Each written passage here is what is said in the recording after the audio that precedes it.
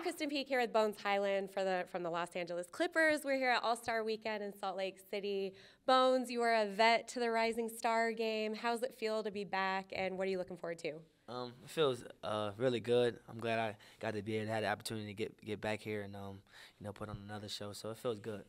I know. I remember last year you were making some moves.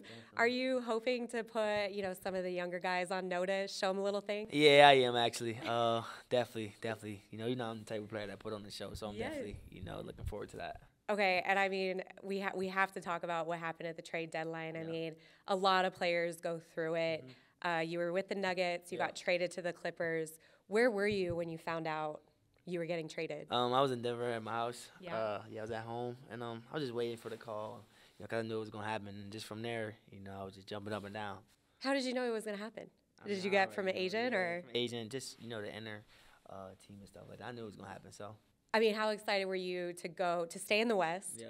And to go to an established team, a playoff contending Mm. team like the Clippers? Um, it feels good because I wanted to go to a winning team, and um, you know, I went to the right situation where a lot of guys, you know, a lot of vets who can, you know, teach me and you know, teach me the, uh, you know, ropes in the game and stuff like that. Give me pointers and uh, you know, just be there for me just show me the uh, unconditional love. So, I actually like that, and um, also, you know, I have like a big brother over there, Right. Marcus Morris. So it's like it feels really good just to go over there and, and already have that family bond. Yes.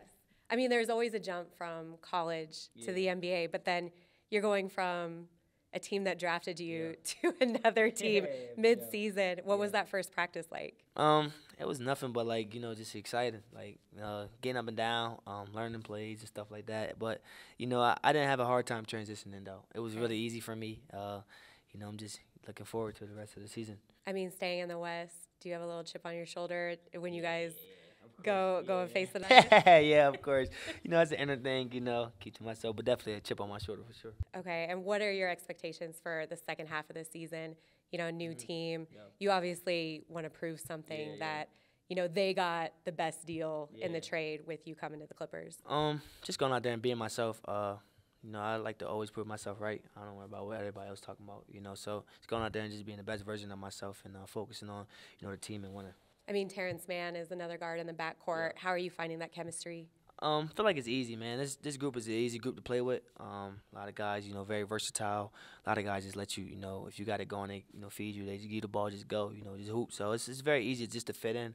Um, Ty Lue is a great coach. He lets you just go, and you know, he's, and at the same time, uh, you know, if you step out of you know your boundaries, he pull you in, he reel you in, he teach you a moment, and let you go back out there and you know just keep hooping. So it, it's it's it's good, man. I like it.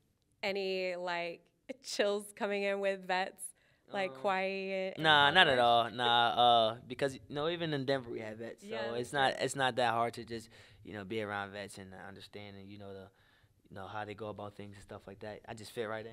Yeah, Yeah. you're a pro. All right, well, Bones, good luck this weekend and the rest of the season. Thanks so much for the Thank you. time. Yeah, thank you.